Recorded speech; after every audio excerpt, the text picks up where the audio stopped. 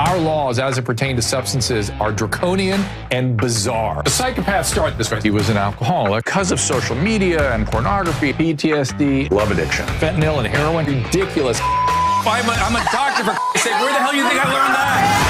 I'm just saying, you go to treatment before you kill people. I am a clinician. I observe things about these chemicals. Let's just deal with what's real. We used to get these calls on Loveline all the time. Educate adolescents and to prevent and to treat. If you have trouble you can't stop and you want to help stop it, I can help. I got a lot to say. I got a lot more to say.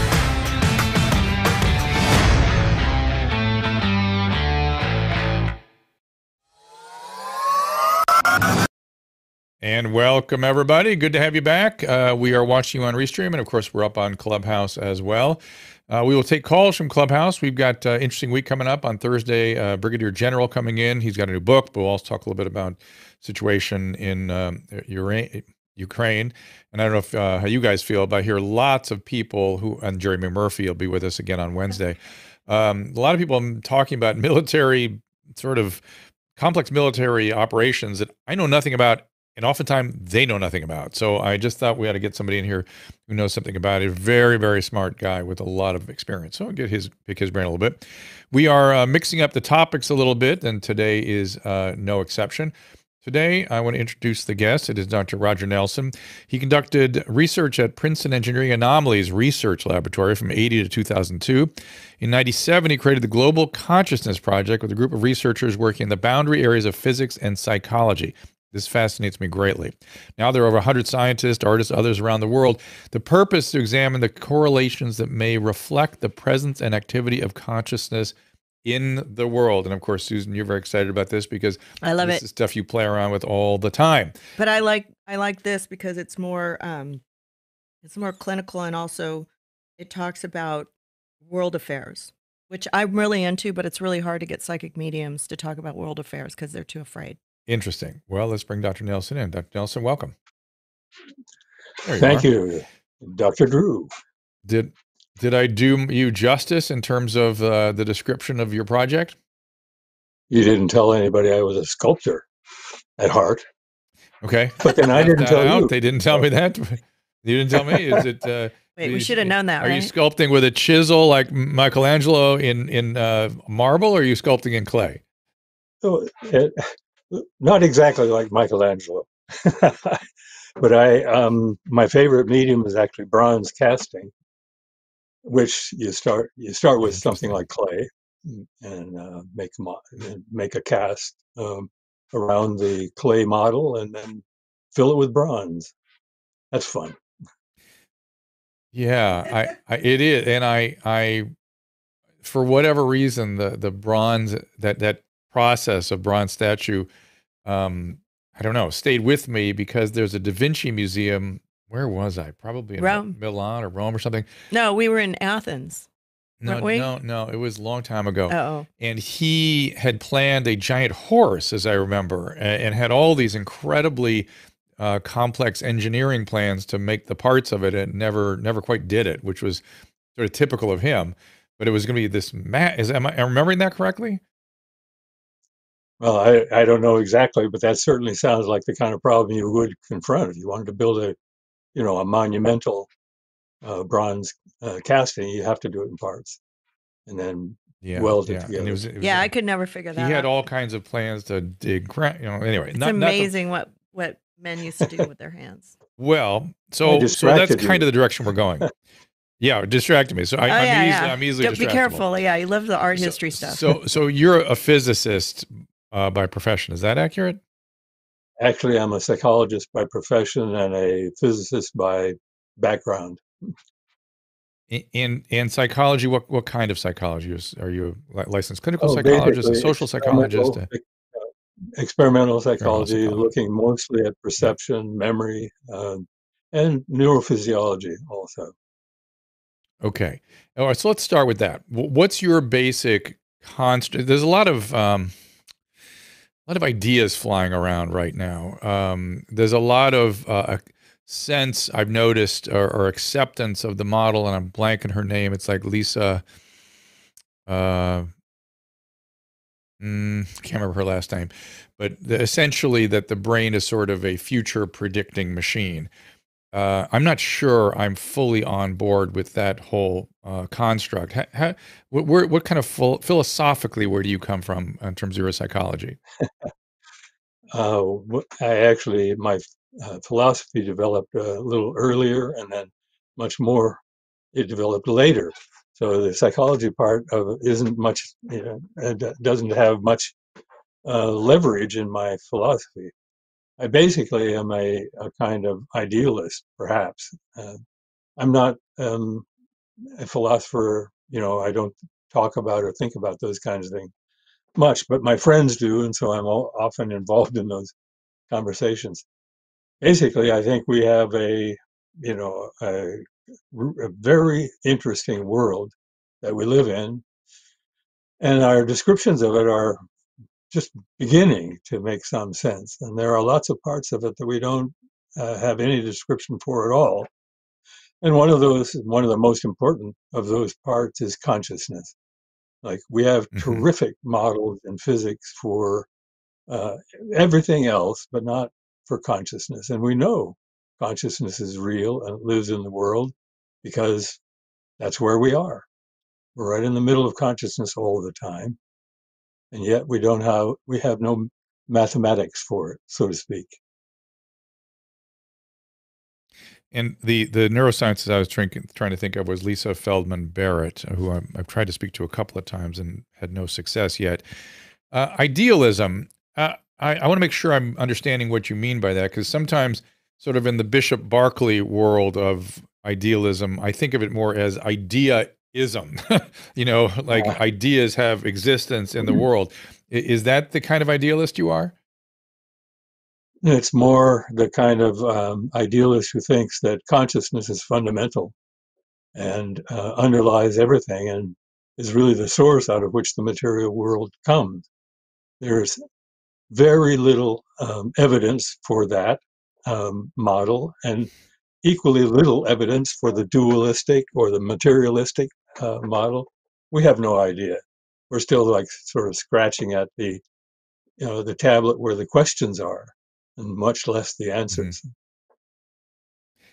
And how did you arrive at this construct?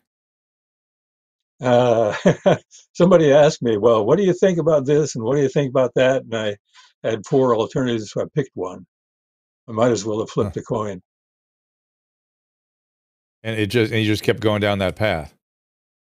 Well, uh, you know, I'm. Uh, I probably shouldn't have uh, brought up idealism because um, it's not an ideal topic for me to talk about.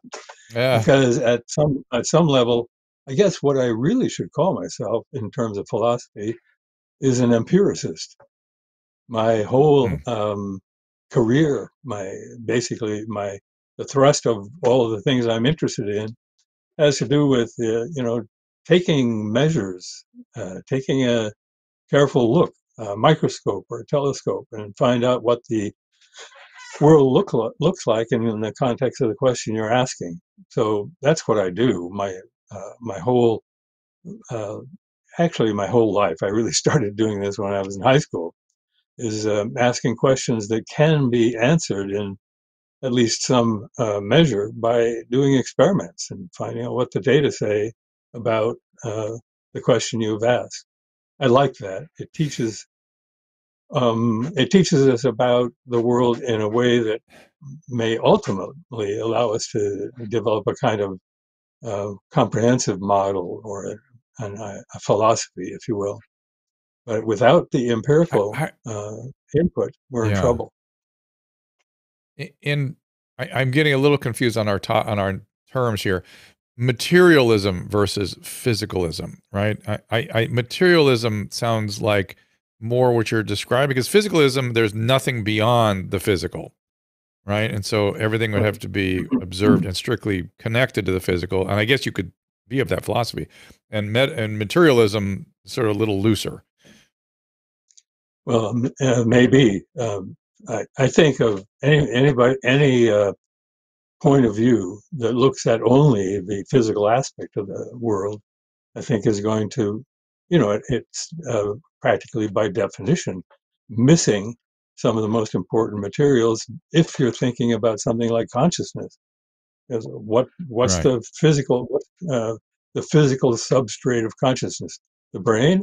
It's Right. not enough because we have things like experiences. We know what red is like, uh, but there isn't any brain um, matrix and no neurophysiological model that will tell you why red looks like that. You know what your experience tells you.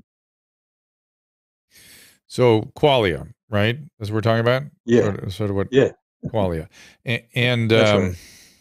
Searle, John Searle went way down a road with that, with uh, Mary in the room and all that. Is that is that sort of in your zone a bit in terms of what qualia are? Well, he's a- more he's more of a materialist. He, he's a strict physicalist, I think. All right, let me get you off that. All right, so it's unfair to me going all these yeah. different paths. So qualia, You're confusing everybody so, so qualia is like what it's like. What is it like to be a bat? What's the qualia of being a bat? Is sort of the classic thing. So and Yeah. and that's something that has no direct correlate in the physical world per se. But but whenever I think not- about that question, yeah, and whenever I think about that question, though, I always think about violins. I literally think about a violin. Like, yeah, the music sort of has all kinds of physical properties, but the totality of what's coming off the string, what's going through the this the air with sound wave, what's reflecting on the eardrum, what is being transmitted to the very complicated aural system we have in our brain. I I, I don't know what to do with all that. I, I don't know how to understand that uh, sort of as eh, from the standpoint of, of consciousness, except to say to myself, well, I, I experience it and I experience all kinds of things i- i- with my brain, with the reticular activating system working and, and sort of certain aspects of my brain working normally so I can be present, so to speak, and have an experience. But what's coming off the string is not really anything, right? Not uh, not unless you have a listener. It's a bit like the tree in the falling in the forest. Right. You have to bring Right. to the music uh, that's being played. You know, you, you bring to the sound waves that emanate from that violin your experience and your interest. And if you don't know anything about um, music, you might be impressed, but you'll be much more impressed if you are, um, you know, a fan of uh, Bach or Mozart or whatever, who, whoever uh, is the source of the music, which is not a not the same thing as the notes on the paper. It's not the same thing as it's the vibrations of the string. The music is sort of a conceptual structure at a- different level, and I think that's where we Right. actually live uh, most of the time. And um, ha- again, our models don't uh, deal with that very adequately. How though? But you said something specific about the the music or the whatever we're picking up on that it exists on a different level. Why couldn't consciousness be like that? Why couldn't it also exist on a different level, like the the music coming off the string is a different thing than what's actually coming off the string? Well, I think consciousness does uh, exist at multiple levels. It's probably the, uh, you know, that you ask me why, where this idealistic notion comes from or where it goes to. Uh, ultimately, it goes to something like saying um, it's consciousness all the way down, you know, all the way up and all the way down. But um, to answer your question more specifically, um, a lot of people talk about consciousness as if it is just a the brain functioning, mm, and hmm most of us who um, think about it a little bit deeper or a little bit longer will come up with uh, some questions about that. Is it really? Is that all there is? Is just a the meat sort of vibrating? and um, most of us come up with the kind of, and, and this is even before thinking about life after death and uh, out of body experiences and all kinds of psychic stuff. Uh, people recognize that the that the the mind is really not the brain um, with just a different name. The mind does stuff that uh, we we couldn't possibly imagine uh, at at this point anyway. Um, a, a, a bunch of neurons actually accomplishing. Just for example, um, there's a there's very good evidence in uh, in lots and lots of experiments that we touch each other um, without touching, even if, people are far away, even if it's tomorrow. We get uh, messages to and from uh, our friends and our loved ones. It's a common experience. Almost everybody in the world um, will say, "Oh yeah, I had something like that." You know, and it's uh, much more complex usually than the business of saying, "Oh, um, the f- phone is ringing. It must be Margie." So you answer the phone, and sure enough, it wasn't a planned call, and that sort of thing. But there are, mm-hmm. as I say, good experiments that allow us to see that the mind is not encapsulated inside your skull, but it lives in the world and actually has a has a role, a function in the world. Tell, tell us about those. um, well, the research I've been doing for the last uh, 40 years is uh, asking whether consciousness, um, things like intention and attention and wishing and willing, do, uh, do, do, those things have any effect in the real world? And we substitute in a technological gadget called a random number generator in lots of experiments. There are many other kinds of uh, devices you can use for um, asking these same kinds of questions. But a random number generator is like a high speed electronic coin flipper, and you ask people to try to get more heads uh, than uh, you should just by chance. It's supposed to be random, should be 50 50. Ask people to get more heads. And they, they wind up being able to do it, not all the time and not by a huge margin, but it's enough that you can establish scientifically through good you know, ordinary, uh, well-known statistics, you can establish that something happened to the random source or the random data stream coming out of the source that shouldn't have happened. It should not be possible for uh, a person wishing for more heads to get more heads, um, but they can do it. And then that also that leads to mm, to many other questions that I've been uh, more interested uh, as time goes by. Things like consciousness fields developed by a groups of people. What about a group consciousness? Is there such a thing? And um, if so, can we use the same kind of technology to detect the presence of the global of the uh, group consciousness? And that leads to other kinds of questions, which ultimately um, became the basis for my global consciousness project, which asks about a group the size of the planet. And what is the evidence you've got so far? Well, um, on the in the Global Consciousness Project, I actually I can go back to the experiments in the laboratory with one person trying to work his will. We have um, mm, 15 or 20 years worth of experiments with hundred, a couple hundred people, each doing a lot of trials of this. They succeed at such a level that it's um, improbable, um, like on with odds about a million to one like that. Same thing with the field REG experiments, which we use to look at global consciousness. That doesn't have such a huge database, but nevertheless, the uh, accumulation of uh, non-random stuff happening, structure occurring in this in what should be a random sequence, that builds up also to um, many thousands to one or maybe a million to one odds. In the Global Consciousness Project, we ran the experiment, a formal experiment for um, 17 years, 500 uh, independent experiments, you might say, that all combined together produce a uh, what the physicists refer to as a seven sigma deviation. That means it's seven standard deviations away from chance. It's way out in the tail. It's so far out in the tail that the probability, or I should put it in terms of odds, it's about a trillion, maybe three trillion to one odds uh, uh, against that being uh, chance. So it's and what was the observation again? Solid. What was this one? This is for the Global Consciousness Project, the formal series of 500 experiments. Uh, all together, the, there's nine sigma, seven. Yeah, all together. You put them all together, and you have a um, you know, it's it's a the kind of uh, departure from what should happen for random data that is so big that it, it meets the criterion for almost any of the sciences.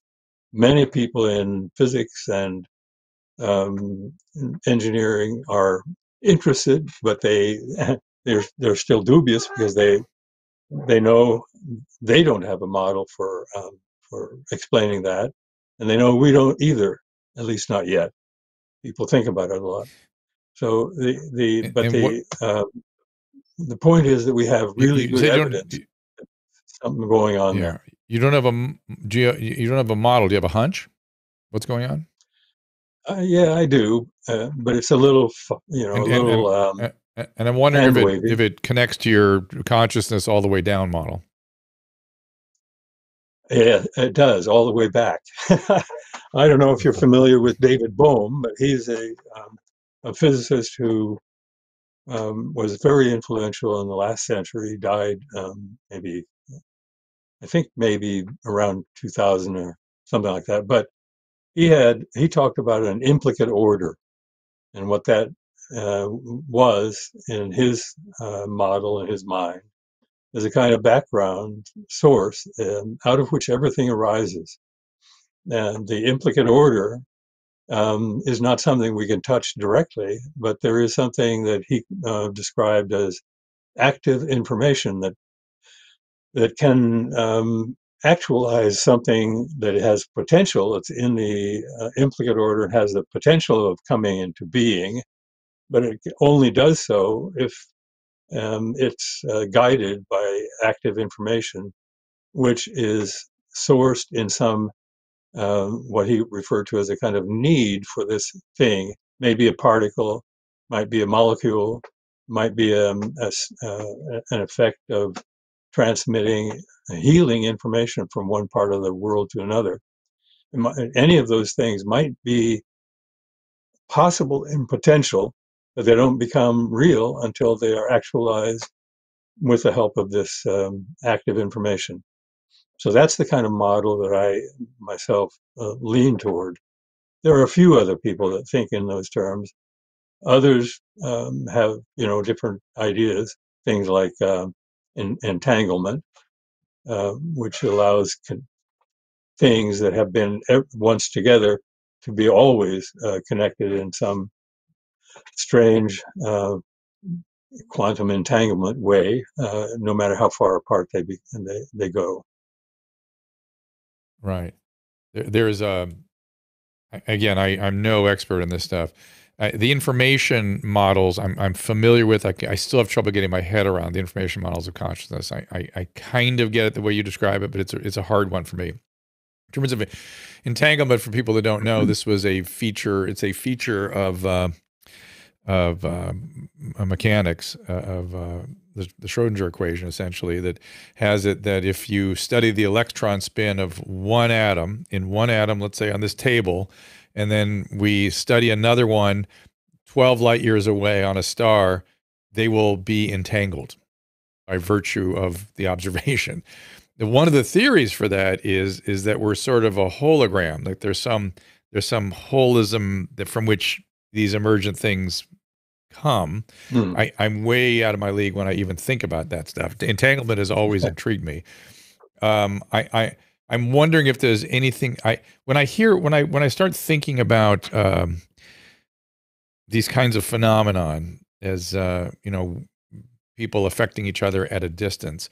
One of the things I always wonder is um, is there some property and this i'm going to ask you an unfair question but again you can no comment or no answer is perfectly viable but it, what sort of roils around in my head is a weird mm-hmm. question such as is there something about temporality is there something about space time that our brain doesn't perceive, which is lots of things, right? Our brain does not perceive, perceive lots of things. But is there That's something right. about temporality or space time that has us moving forward and backwards in ways that we just we just don't see? Do you, do you ever think there's anything to that?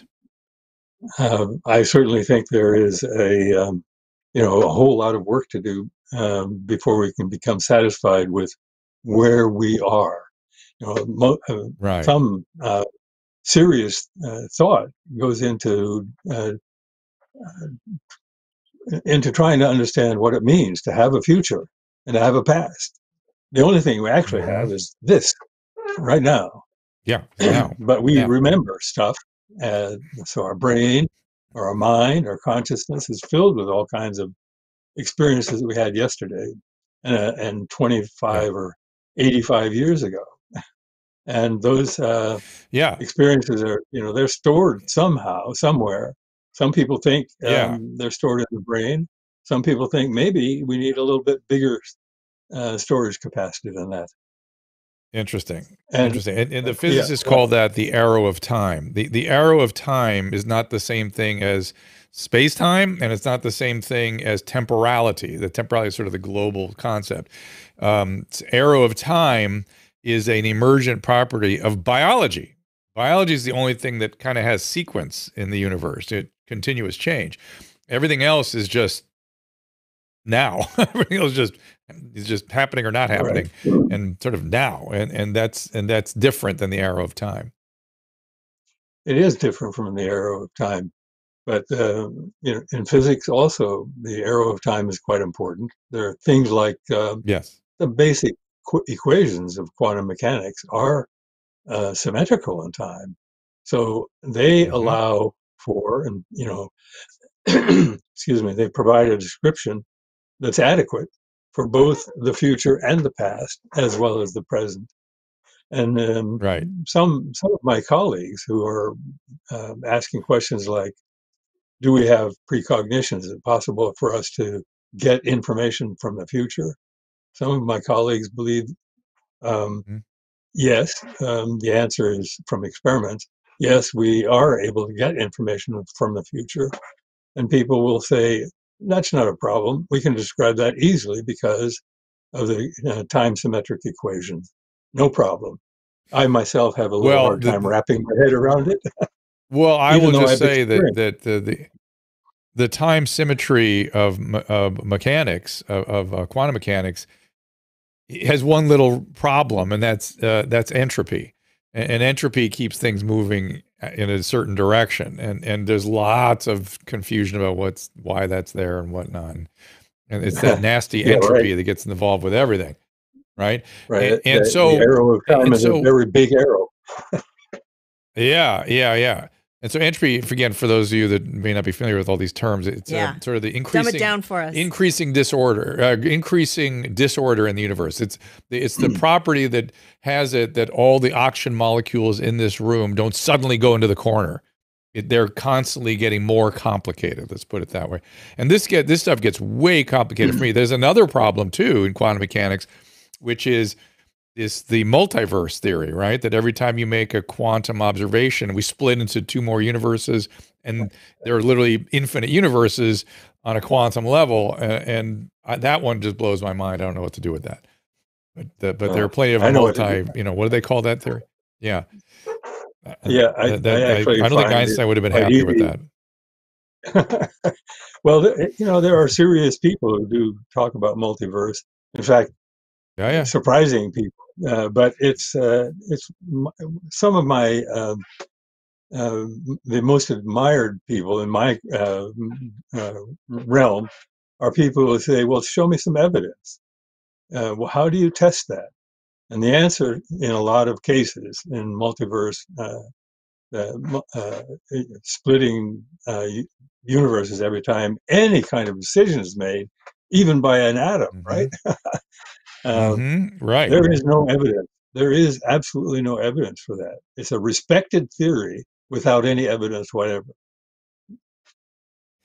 my my own personal instinct on this that the answer to that theory is unity it's one because ultimately if you have enough universes you you you you converge on one you know what i'm saying that it becomes it. just one anyway it yeah so unity Yeah. one is is my so any confusion about that my answer is one that's my answer and i, I proposed it to a, a very serious theorist and he thought i'll think on that and okay please do because it just intuitively makes sense to me um, but so let's go back down to the the monads of consciousness. I guess you sort of have right. Is that part of your theory that we're that atoms have consciousness and the, the this there there there's there's a theory like that out there. Is that you? Well, no, I'm I'm not a theorist. I don't write write uh, ah. theoretical stuff. I just you know when people ask me, I say, of course I think about it, and this seems to hmm. fit the stuff I know best. So uh, mm. the, the, the oneness that you mentioned, I mean the one, is exactly in the mm-hmm. center of what I think of as a kind of um, end end point picture. You know, we are uh, the ancient cultures, every culture, every sage in every culture has, has, said pretty much what you just said. We are one. And, uh, and that leads right to saying the universe is one. There is only one. so I totally agree with you. And I think that uh, that's where we get to if we are really get serious about all the things that, all the evidence that we have about various kinds of models that, that we uh, try that we that are not necessarily satisfying, but they are the best we can do for describing the universe we live in. It is a kind of unitary it, thing. It, we start we start yeah, from nothing, think, yeah, become one, and yeah. then we go right back to it. And that's the the whole the the holograph theory too. Is that also there's just one that's then has emergent properties essentially that that we're interacting with, but um, Emergence is another thing that fascinates me, but I, I don't want to deal with that's too big a topic for today. Uh, let, let, one of the things that sometimes frustrates me about conversations about consciousness is people don't define the term. So I wonder if you would define what we're talking about for me. Um, well, the, the, reason people don't define the term is because it's ill-defined. we just don't hmm. really. Um, it, it, requires context. You may be familiar with Alfred Korzybski, or the count, hung, uh, uh, Polish count, who uh, wrote a book called Science and Sanity. And among the uh, rules they promulgated in this very thick book was that the map is not the territory, um, but also that um, when we really right, come right down to it, there isn't any um, world except the one we directly experience. Consciousness, okay, mm-hmm. I'll try, um, you know, waving my hands a little bit about consciousness. My first temptation in give, uh, being given that question is consciousness is what allows us to ask that question. But that's a little bit unfair to dogs because they uh, have consciousness too, only they don't ask questions like, what's consciousness?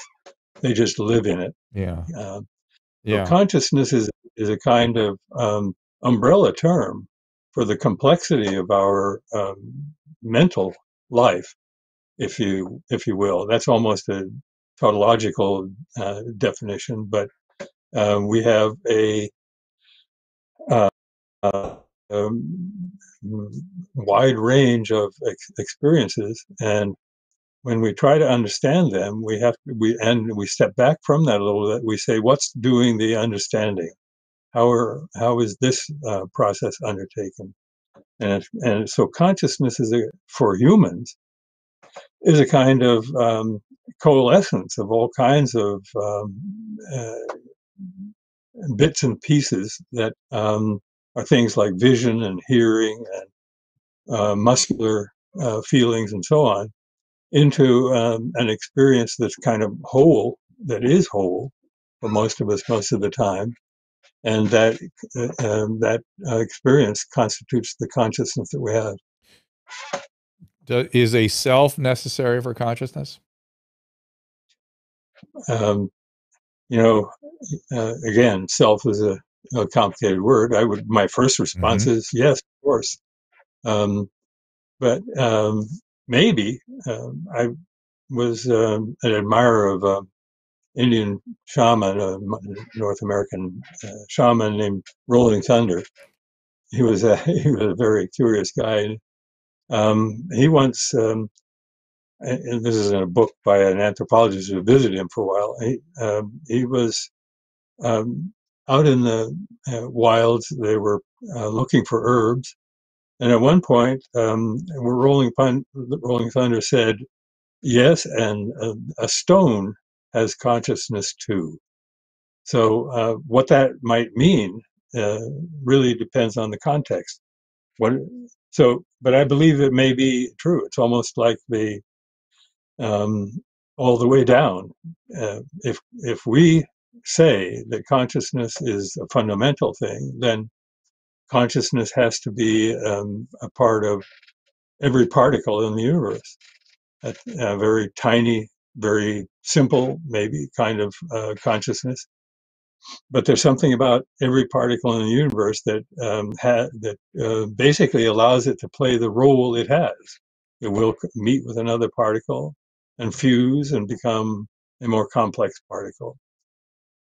It will fly off to the other end of the universe and still be entangled uh, with its partner mm-hmm. in the original arrangement. And and and again, I'm still trying to get my head around what we're talking about there. I, I, are we are we talking about energy, force? Is that you know is energy consciousness just energy? Well, um, in those uh, terms, using that kind of terminology, I think uh, consciousness is very much closer to information. Information. I talk okay, about got it. a kind of uh, you know, this global global consciousness project. Sort of wants mm. some explanation, and and so I think about something like I talk about a uh, consciousness field. And uh, in the next breath, I will say, uh, by that, I mean some kind of information field. It's like mm. um, what consciousness uh, does as a kind of in, source of information is to um, present structure as a f- function of being itself very structured. Mm-hmm my consciousness presents structure to the world outside uh, of myself. So in the laboratory experiments, my intention to get a high number or more heads, that is, uh, that is presented as information to an ongoing stream of random numbers, which are unpredictable uh, by design, and therefore it's in principle possible for them for the next uh, number in the sequence to be different from what it might have been uh, because of the information that uh, is presented by my intention. I, I, again, these are very interesting concepts. I'm I'm trying to get my head. I, I want to be super careful with the terms. I, intention meaning your state of mind, essentially. Yes, my state of mind, but very specifically in the case of those experiments, my state of mind is high numbers, high numbers, or low yeah, numbers. Yeah, yeah, yeah. Now, uh, there's so, Susan. Go ahead. Okay. I figured this is where you'd want to yeah, come in. you guys are. I. well, I had to. We had to get through all that. We had to get no, through I all it, these I get theories. It. So you guys have to nerd out, and then we. Well, have I still have more to nerd out on. Trust me, but but but go ahead. you ask your question. I know. I know. I I failed physics. Just so you know. Um, had to take uh, weather instead to to get out of my uh, weather has consciousness. I dropped. Yes, I, it I dropped does. out of physics at one. I dropped out of physics at one point because I wanted more time for sculpture. I get right, that. right. I get that. So, anyways, I I wanted there. There's a talking point that I wanted to talk about that you. This part of your study is that you you assess the varieties of events such as the celebrations of New Year's, shocking events like the disaster on 9/11, uh, natural tragedies, and and huge like religious events. Is the are these part of your study that you you know you're trying to look at the how people look at that and how they how their consciousness Or did are you asking Susan? I- did, did our collective How consciousness it- contribute to that, or how do Yeah, we well, react to that? I mean, both? how did these studies sort of add to your data and, and Okay, bring you right. to your results? Well, I, it, the, it's a very good question. Um, it, uh, it requires that I say we're not studying those events and, or the psychology of the people um, at all. Instead, we're identifying an event like 9/11 or New Year's. Excuse me. And we are saying we're making a prediction that because huge numbers of people are coming together, um, sharing a kind of uh, emotional state um, might be fear, might be joy, it might be compassion. So this this huge number of people coming together, we believe, will create a kind of information field, a consciousness field that uh, carries with it the structure um, from all those people, all those minds, uh, having a, a, an idea or an emotion and sharing it. it they become coherent, uh, re- resonant with each other, synchronized. All of those things lead to their to what I call a group consciousness, and the prediction is that that group consciousness will present information to the world, and that these uh, sensitive instruments, these devices called random number generators, uh, will absorb some of that information and their behavior will change ever so slightly. Or in the Global Consciousness Project, two of those devices separated by a thousand kilometers or even larger distances may become correlated. They may start acting like each other. And uh, the, the reason we have eliminated other possibilities, the reason the, the correlated thing is the mood, uh, intention, the uh, state of mind, the consciousness that people have and are sharing. Does that make sense? Or am I being Yeah. clear? Makes sense to me. And, So and- those, and Susan, uh, so we spell it out we to set up a Go we ahead, set up a please. series of events like that, and every uh, every time every time an event came along that we thought, you know, uh, b- uh, could needed the attention or deserved the attention, uh, would potentially bring millions of people into the same frame of mind. So we set that event. We specify the beginning and the end of it precisely.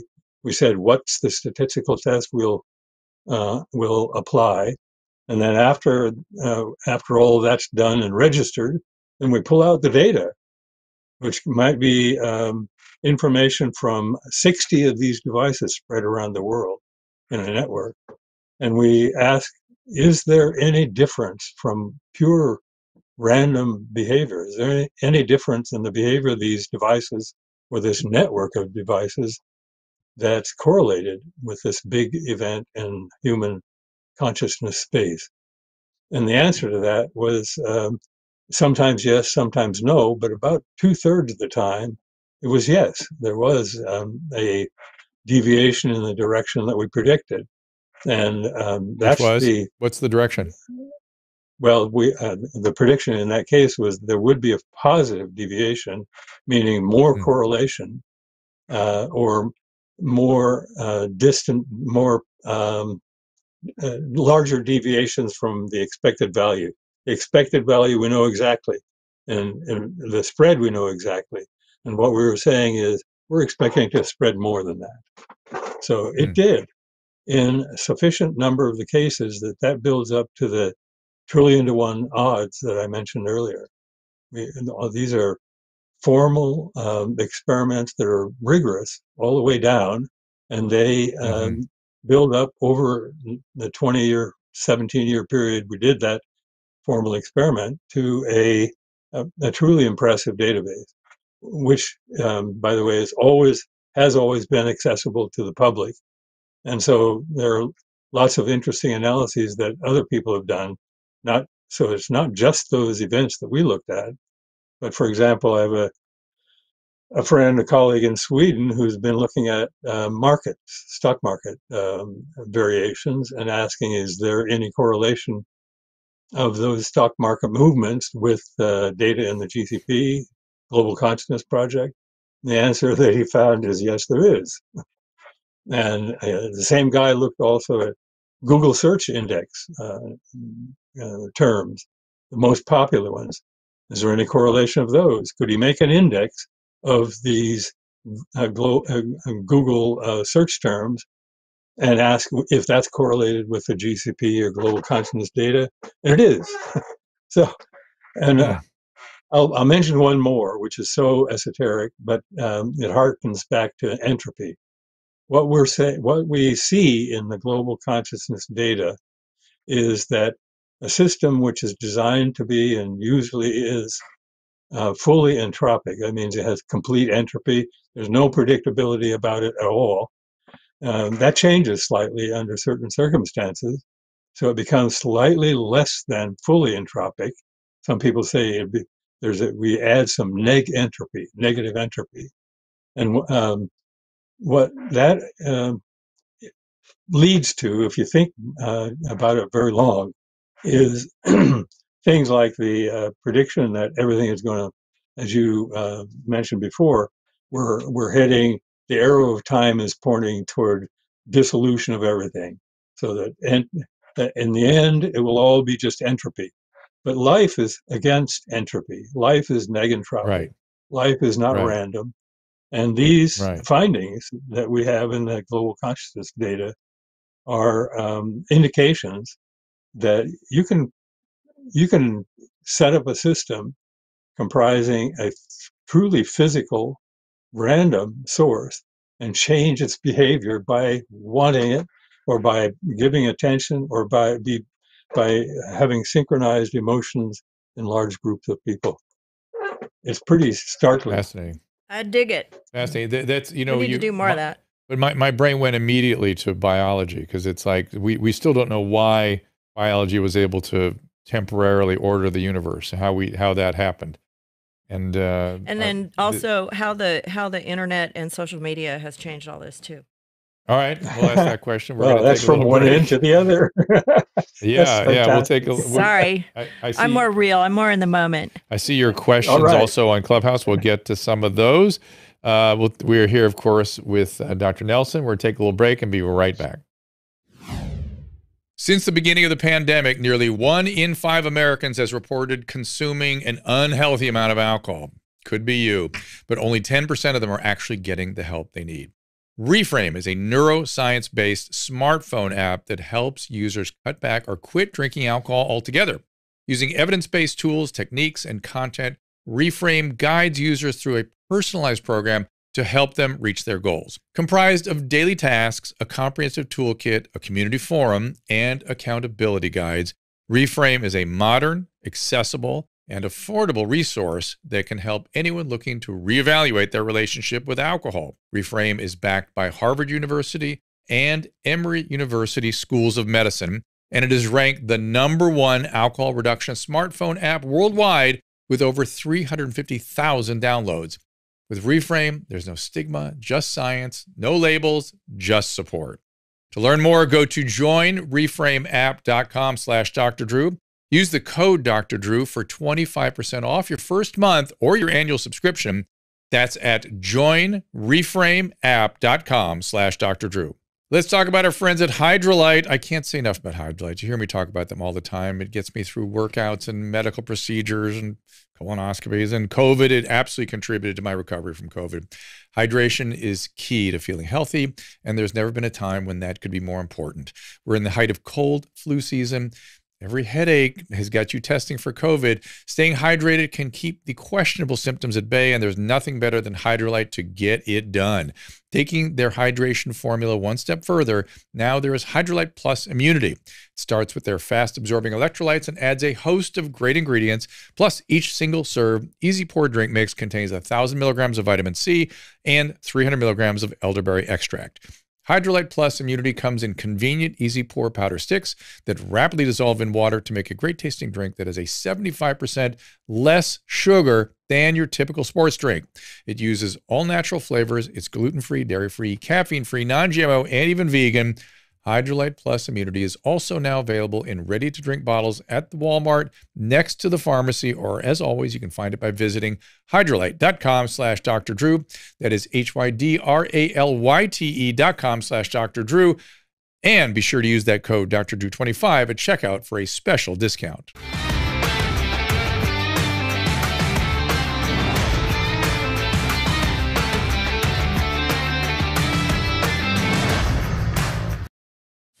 We are back with Dr. Roger Nelson, Global Consciousness Project. And uh, Dr. Nelson, during the break, my wife was um, querying. I was saying, look, we these events in the global consciousness affect random numbers generation in ways that are unanticipated. Now, what does that mean? And she kept going, What does that mean? What does that mean? What does that mean? So I'll toss that to you.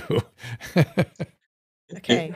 Well, it, it means uh, in uh, the case of a laboratory experiment, we have just one random number generator. It means that you get more heads. When you're trying to get heads, it means just because you want them, that machine will not do what it's designed to do and produce a completely random stream.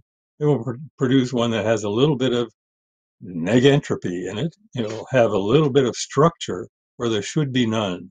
And that is attributable to the intention that you have.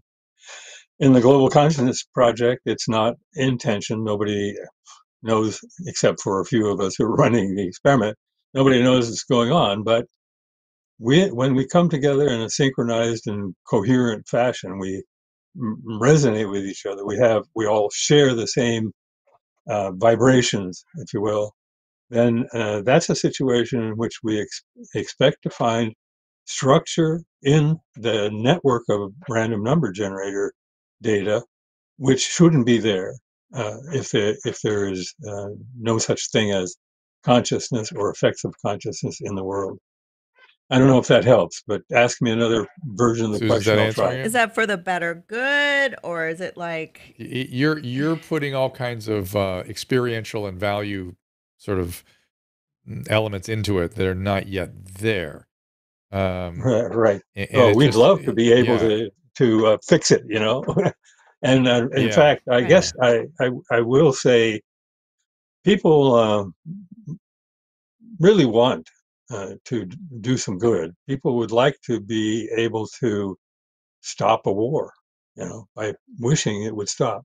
We don't um, have that yet, but I think uh, I'm going to go for sort of to the end of my spiel. Wh- When I talk to people, uh, to groups, I usually uh, end up talking about the meaning and interpretation. And what I think we have evidence for in the Global Consciousness Project is an unconscious connection among us all. And I am conscious, I'm unconsciously connected to you guys um, and to Kaleb in Alabama or New Orleans or where, wherever in Central Time. In other words, Yeah. um, there is a kind of connection that we we really believe exists, and that is uh, part of what the data in the experiment actually um, allow you know give support to.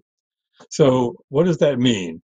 That means that we human beings are connected in ways that we don't know about, and we ought to know about them. We ought to be practicing whatever um, teachings or whatever uh, thoughtful ideas that we might have or our friends have. We might need to uh, use some words like love and compassion and so on, but we need to try to bring up this unconscious connection so it becomes conscious. So I know Mhm. that I'm connected with you, and I and we together can take advantage of that to create something that is two heads better than one. We can, uh, in principle, I think we can even do something like amplify the power of good of uh, positive thinking or prayer or whatever you might want to call it. If we want to stop a war, we need to have all of us wanting to stop the war and somehow Mhm. connecting even with the people who are in, involved and engaged in and creating that war. Yeah, I, anyone that has sat in a uh, intense psychotherapeutic environment will have stories of uncanny information going back and forth of experiential nature. And so that's one of the I have my own theories about what's happening there, but that's one of the reasons this interests me so much. Uh, here's somebody, Casey, who I'm about to pull up to the podium here. Uh, I believe conscious is an expression of energy. Energy is neither created nor destroyed. Uh, the soul goes on. Let's bring Casey up to in club, Clubhouse. Casey, you want to go on from there? or the brain goes on? Well, the, Yeah, the- five, four, There three, you are. Here we go. Yeah, I would love to go on from there. Uh, by the way, uh, doctor, Mhm, doctor, mhm. it's a pleasure to speak with both of you. You as well. uh, yeah, so um, I actually have a, a background in uh, agriculture. Uh, so we have always uh, just getting into the the uh, the fringe sides uh, of things. I uh, we used to do things like uh, bless water. Hmm. You can program water with positive or negative thoughts. Hmm. Um, I, there was a Japanese experiment that happened in a subway where they would put uh, distilled water in front of a sign that would say something. One would say, like, the love of life. The other one would say, I hate you. And then they would freeze the water samples and look at the crystals. I hate you was jagged and just, you could tell it looked like stabbing stuff uh, to where you know the love of life was very floral and fluid. Well, we did the same thing in school with water. Uh, it, it, we set up the signs, all this other stuff, and then we would test how uh, nutrients, fertilizers, would work in these different samples. Hmm. We were able to use around 15% less nutrient and get the same uh, results from the blessed water than from the, the negative water. Interesting. So, and, and we, what are we, 70% water? Uh, So it's one of the- Probably ninety percent. Yeah, exactly. So yeah, it's more like ninety percent. Eighty percent, yeah. Sorry, I'm not a doctor. A lot of water. but yeah, so Right, it's one of those things. yeah, it's a lot just, of water. Uh, you know, yeah, that, I mean, being the, the kind of stuff you're uh, talking about is there. You're doing actual research. It sounds like, and there are a lot of people that have, that have shown yeah, yeah, that uh, basically what we are uh, you're talking about is a small effect of something like prayer or wishing and the laboratory stuff is talking also about that same small effect only one is in, in dry scientific terms the other one uh, produces better crops i visited a Hmm. winery in uh, california that had that was using um, uh, the the stuff that is the Swiss guy. They they basically would put they would take something like cow horns and bury that in certain parts of the fields and do blessings, and it actually produced extraordinarily good wine. At least so I thought. Hmm. Uh, thank you, Casey. I'm going to bring Josh up. Um, interesting. Peter- Hi, Josh. Dr. Drew. What's up? How's it going? Um, good. I, you know, I think of this from a spiritual perspective, Mhm. And um, the way I would think about it is, um, if if we know we have consciousness within ourselves, no one is saying that we don't. Uh, and if we start to believe that consciousness is a- outside us, externally, and measurable, which is what the um, your guest is is is saying, Mhm. it it follows that we should sort of identify ourselves as consciousness in in our lives if this is what we're willing to accept. I mean, I feel like that's the next step. Instead of identifying ourselves as men or women or whatever attributes or or even the body, you know, I am the body as opposed to I am consciousness.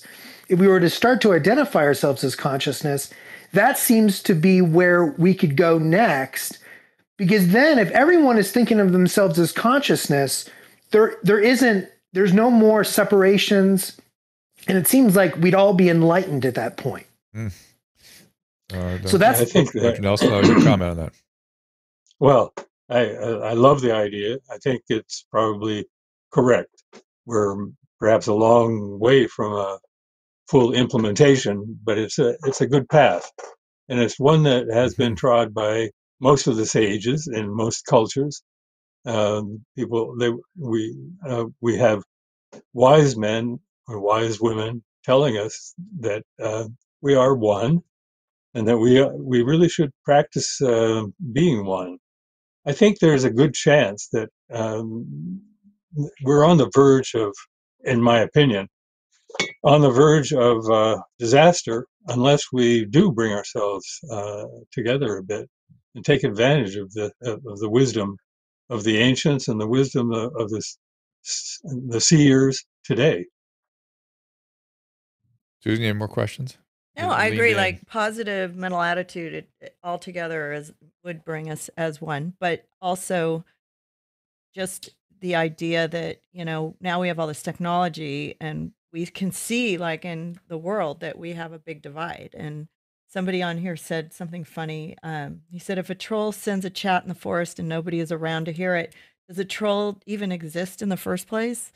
The troll on the internet. We're Yeah, this is back to your question about the internet and whether or not we never we never dealt with that. Do you think that I mean, if you look back in history of, you know, the collective uh, consciousness about Christ, you know, when Christ died and how we, you know, it became spiritual, a, a place for people to go and, and they all thought alike, and prayed alike, um, you know, but they didn't have the internet to send out information. I think a lot of it was done through, you know, spiritualism, but, um, but now like, we're dealing with something we- we're seeing the ugly things in life that you know coming right in front of our faces. And and hopefully, I wish in a perfect world, and I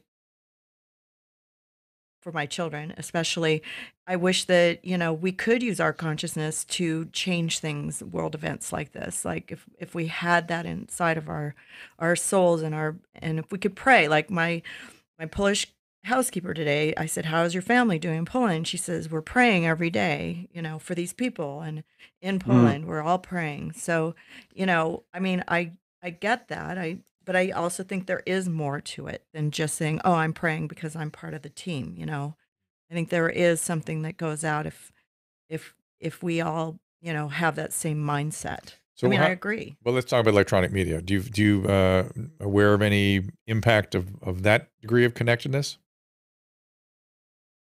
Are you, you asking me? Hmm. Um, yes. Yes. we we are uh, and there there i have a um, the field that i belong to has um, a few hundred serious people scientists uh, working to try to understand these kinds of things and there are some people that are directly uh, act, uh, asking a person in a, an experiment to change the way um, an electronic device operates i mean something like a smartphone or the display Mhm. on a computer screen.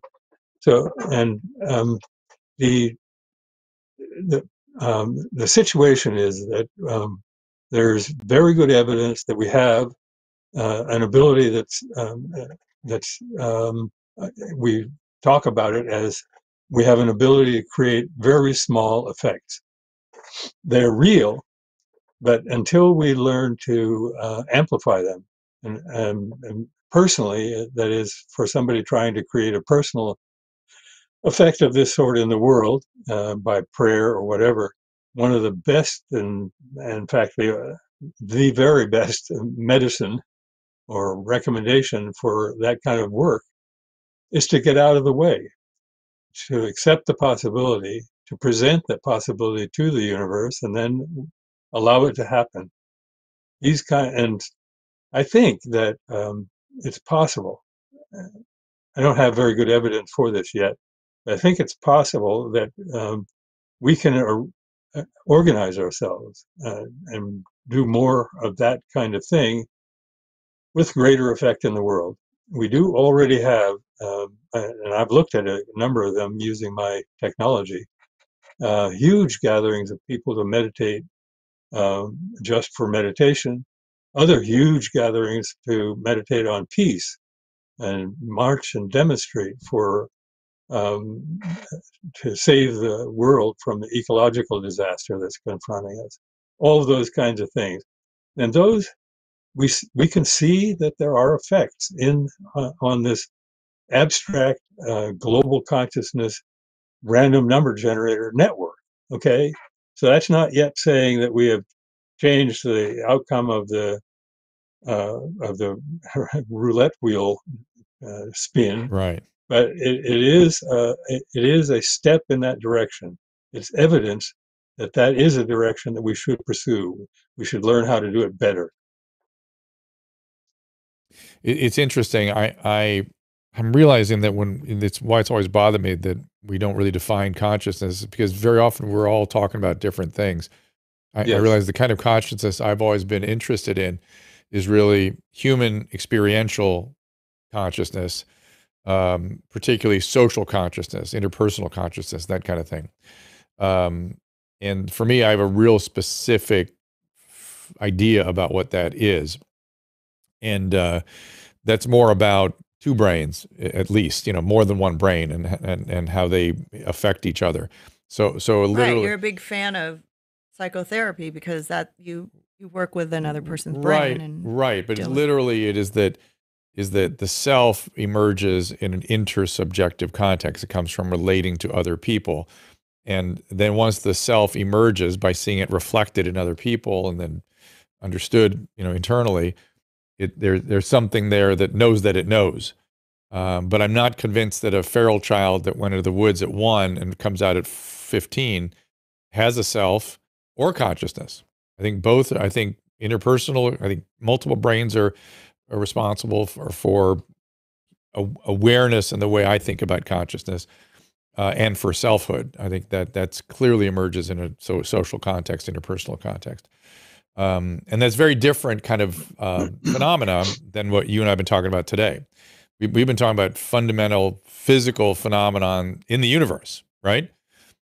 Yes, but I think. I mean it's it's a very uh, good track that you're on. I think uh, because we have um, even in this uh, first world country, we have a hell of a lot of people who are born into situations that are t- terrible. They're almost as bad as being mm-hmm. a feral child in the woods. So they don't mm-hmm. learn mm-hmm. uh, the kind of things they don't they don't become uh, the kind of thing that people who have loving parents and a and a mm. you know good food all the time uh, actually become. So we, uh, there are very practical kinds of issues that have to do with what's consciousness what is the consciousness mm-hmm. of somebody who's beat up every day of his you know childhood yeah that's a very different kind of thing from yeah there's um uh those of you who are watching may know a guy named rob henderson. Uh, jordan peterson interviewed him. I've interviewed him. He's a kid that was came out of those kinds of environments uh ended up after addiction and prisons and other things ended up in the military and ended up going to Yale and now Oxford, where he is a social psychologist. And he's written a book that's coming out soon where he describes this experience of going from the object of um, chaos to someone with a fully developed consciousness. And it's quite, quite impressive, quite impactful. What's the name of the book? That sounds great. I, it, his name is Robert Rob or Robert Henderson. Look, look for him. Robert uh, Henderson. A, uh, okay.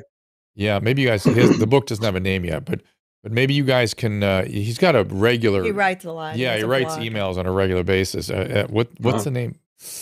Let me see if I can find. You can just Rob H. Uh, yeah. Rob, yeah, I, I can uh, look up Henderson. Rob, but you know, uh, you're reminding me when I was a, a young professor, yeah. I was talking about child abuse, and I said it's very hard for people um, to become, you know, uh, well human beings if they suffer that. Mm-hmm. And somebody came up, mm-hmm. one of the students in my class came up afterward and she said, Be careful what you're uh, saying about these kinds of things. I'm one of those kids and I uh, have worked hard and I've come out of it. So uh, that it's a it's difficult, but it's possible. It's possible, but it it it, look, it requires a lot of treatment and a lot of effort, uh, and it's a lot and a different. collective consciousness. yeah, maybe. So, um, it's Rob K Henderson oh, on Twitter. It? Yeah, not H. So okay. Uh, and uh, he his book ends with a statement that I I recapitulated in a little blurb I gave him, which was, "It's much better to be poor in a family that loves you than unloved in a rich family." Hundred percent, yes. Yeah, yeah. I, and, I think we have plenty of it. evidence of that. Yeah, I yeah. um, I don't know. Uh, you may have a another item or two on your agenda, but one thing I would like to mention is that there is a GCP 2.0 that's in mm. development now, and uh, it Tell will be. That. Yeah, all right. It's um, it's being put together by friends of mine at the HeartMath Institute, which you probably know about. And um, there's a team actually of people from GCP and from uh, the Global Coherence Initiative, uh, Institute of Noetic Sciences, and also HeartMath itself. And we're building um, a, a, thousand unit uh, network. It, will be, and each of those units will have four uh, different uh, random, independent random sources in it. So it'll be like more than an order of magnitude larger network. And it will take, uh, we'll collect and store potentially correlated data like social um, media uh, measures of one sort or another, along with mm. stuff like uh, the, the, geomagnetic flux, uh, solar winds, mm. and stuff like that. Anyway, the idea is to um, try to answer, try to get more information that will help answer some of the questions that the original project uh, raised but couldn't um, answer because those questions only came up as a result of looking at what we learned in the original. So I, uh, people were being run being set up as a citizen science operation. That means that some somebody with um, interest um, can uh, join in and become a, a, host for one of these units. It requires a, um, uh, it doesn't require scientific necessarily scientific background, only uh, sincere interest, I guess, and a few bucks. Well, and and where should people go for that? Um, I think uh, just go to HeartMath Institute. Heart, I think it's uh, HeartMath. Dot, or let me uh, tell you one that I actually know. uh, Global okay. Coherence Initiative is gci.org. Okay, and then follow yourself on Twitter at GCPEGO. GG. GCP, no, it's EGG. My project EGG, was originally so called the it was originally called the EGG project, EGG, for electrogaiagram. Uh, my son, who was uh, the ar- architect for software that was, and this is 1997, he said, "You know what you're doing is like an EEG for the world." I said, "Oh, cool, interesting." uh, and he wow, said, "You should call it cool. an electrogaiagram because you're doing an EEG for Gaia." So I'm reading one of your posts. It says, uh, I'm reading one of your posts at the Global Consciousness Project on Twitter. It says the GCP cover measure corresponding to the Ukraine invasion continues to show a strong trend. After four full days, it is probably against chance of 0.003. Not much likelihood it's chance. Comments of people close to the situation suggest more than anger. So that more than hang- anger, we see a lot of compassion with the refugees and unprecedented the unprecedented will to help them. Compassion is one of the strongest correlates of GCP effects. It seems a major influence here. And then oh, there's, well, a, like there's a cool chart, like it shows it. So, like, I don't know, I guess I would like to believe that. At, very minimum, if you participated in that kind of thinking, it certainly wouldn't contribute to the world being a less good place it would contribute to the world being a more good place. And so there's no downside to. Uh, well, I think everybody is really sad, is really compassionate towards these people. Yeah. The problem is we got to get this guy. Can we use our collective consciousness to to make this man turn uh, into less some, yeah. some negative? Hey, what we have to do, negative. what we have we to do is feed him a hell of a lot of love, because he's yeah, obviously I, missing maybe. something. Yeah. Maybe, I don't know. Maybe. It's, it's horrifying. send, send him some neg entropy. All right. Yes. Dr. Drew neg, has it. Uh, neg, ent- neg entropy. No, so, it's interesting though. Well, listen, Dr. Nelson, it's been really fun, really interesting, and uh, thank you for the work. Again, the Twitter is GC GPE. Oh, no, GCP egg. GCP egg. GCP egg at GCP egg, and uh, we, Susan obviously already following you, and uh, hopefully we'll get an update one day soon on your 2.0 project. Thank you. It's been a pleasure talking so with much. you. And uh, even though fun. I'm not a philosopher, have we a great day. In, we I'm just, a sculptor. We, we skate. Well, yeah, but you can't talk about these things without skating through all kinds of important thoughts. You know, great, yeah. great, the great thoughts of how we got even to this point. I, you know? I kind of get it now. Like now that we've come to this part of it. I but I, you really had me for a while. I I didn't do well in statistics either or psychic. Well, but you know that there are you know what only psychics. And, you know, seven sigma is like or nine sigma is very unlikely, right? No, so, but I no, I understood a little bit of it, but I hope that everybody um, makes it to the good part at the end. And uh, Dr. Nelson, I will say farewell to you. Thank you so much, and I'll say goodbye to the audience as well. We'll see you tomorrow at three o'clock with. Um, Oh shoot, it's uh, J- Jeremy, Jeremy uh, Murphy. We'll see you then. Three o'clock. Thank you, Kaleb, for producing. And then Thank also, who do you have coming up after that? And then we have uh, Brigadier General Atta, Tata, Anthony Tata. Anthony Taha, Tata, to uh, educate us a little bit about uh, what's really going on over there in the Ukraine. I see him on a much many We're ending the week with a Tata. Yes, we will, and uh, we'll see you tomorrow at three o'clock. But what do you want done to your armpit? Sort no, of I, your scaring me. armpits are very erogenous. I understand what what should be done to them. I don't know. Is it Never mouth, tongue? I guess I don't know. We But Try tongue. sensitive. tongue. Okay, all right. Thanks. I don't know. Anna. Any help me out here. Uh, dude. You want to? you want to help? you, want, you want to jump in the middle of this? Go ahead. Come over here and show him.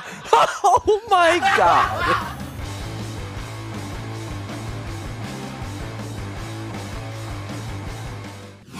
Ask Dr. Drew is produced by Kaleb Nation and Susan Pinsky. As a reminder, the discussions here are not a substitute for medical care, diagnosis, or treatment. This show is intended for educational and informational purposes only. I am a licensed physician, but I am not a replacement for your personal doctor, and I am not practicing medicine here. Always remember that our understanding of medicine and science is constantly evolving. Though my opinion is based on the information that is available to me today, some of the contents of this show could be outdated in the future. Be sure to check with trusted resources in case any of the information has been updated since this was published. If you or someone you know is in immediate danger, don't call me, call 911. If you're feeling hopeless or suicidal, call the National Suicide Prevention Lifeline at 800 273 8255. You can find more of my recommended organizations and helpful resources at drdrew.com slash help.